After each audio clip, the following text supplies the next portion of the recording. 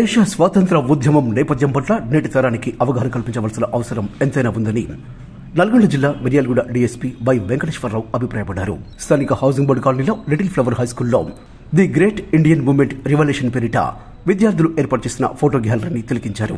స్వాతంత్ర సమరయోధుల వేషధారణ గావించిన చిన్నారులను ఆయన ప్రత్యేకంగా అభినందించారు.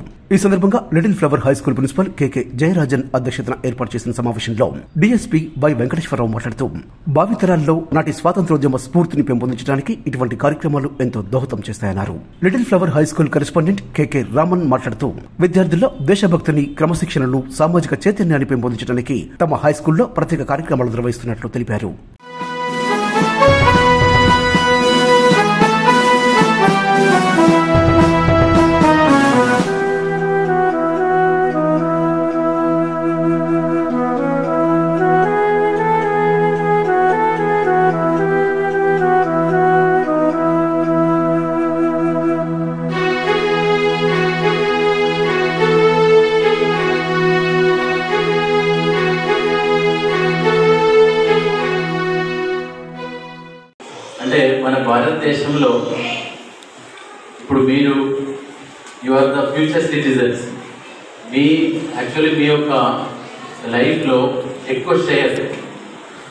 మోస్ట్ అంటే important part of your life time కూడా you are sharing with teachers so when you are sharing with teachers you are in class in class you have to learn all subjects, okay, English, Telugu, Hindi, including maths, IIT and everything.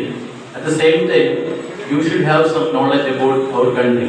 చాలా పాత very old civilisation Indian civilisation is భారతదేశం అనేది ఆ విధమైనటువంటి పేరు ఉన్నటువంటి So in that country we are living. And also we got glorious moments with the Indian independence. By seeing that image, oh, that Aroja Jeriginda. So who are the very uh, most important leaders? 20 photos when you see, uh, you will get some knowledge, more knowledge about him. That's why we plan this program.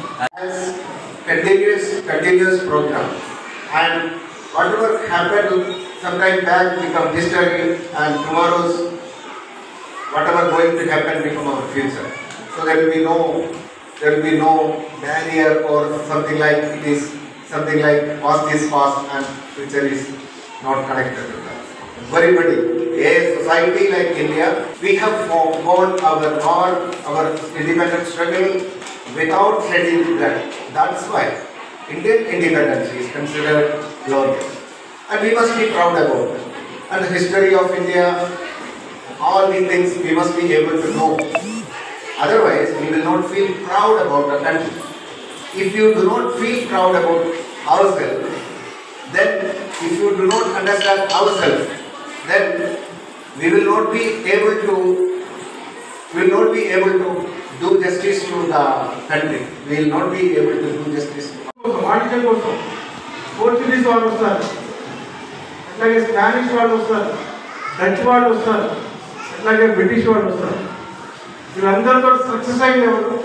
ఎవరు success అయింది ఎవరు? ఇక్కడ British వాళ్ళు. ఎందుకు success అయ్యారు వాళ్ళు? సాధించాలనే కసి ప్రిపరేషన్ మోటివ్ అవన్నీ కూడా ఉన్నాయి కాబట్టి వాళ్ళు ఇక్కడ ఎస్టాబ్లిష్ చేయగలిగారు. వాళ్ళు ఏమనుకున్నారంటే ఫస్ట్ డిసైడ్ చేద్దాం అనుకున్నారు. బట్ ఇక్కడ ఉన్న అనైక్యత ఒకడంటే ఒకటి పడదు ఇండియా ఒక ఇంట్లో ముగ్గురు ఉంటే ముగ్గురికి పడుతుందా? అనకాలం ముగ్గురికి? మీరే చూస్తారు ఇంట్లో. పడుతుందా? యూనిటీ ఉండదు.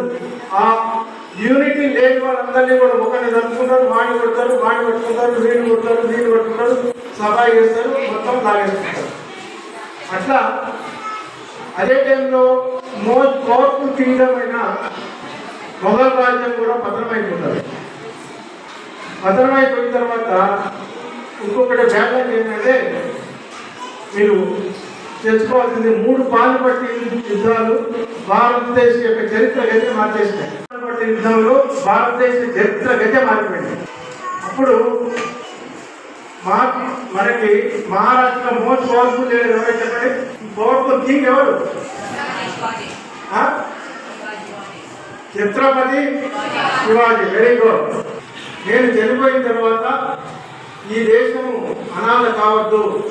ఈ దేశాన్ని పాలించడానికి ఒక్కరి కాదు ఒక ఏడెనిమిది మంది ఒక కుటుంబంలాగా ఉంది వీళ్ళ చేత దేశాన్ని పాలించాలని చెప్పేసి ఆయన తర్వాత అష్టప్రధానని ఆయన టైంలో ఎనిమిది మంది మినిస్టర్స్ తోటి ఒక క్యాబినెట్ పెట్టారు.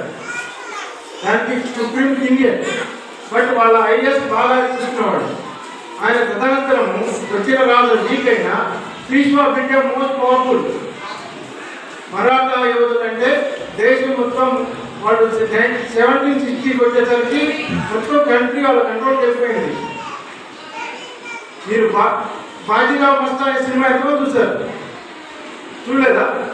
గారికి ప్రిన్సిపాల్ గారిని మీ ఇన్నందుకు మీకు అందరూ కూడా నేను మరొకసారి కృతజ్ఞతలు తెలియజేస్తున్నాను.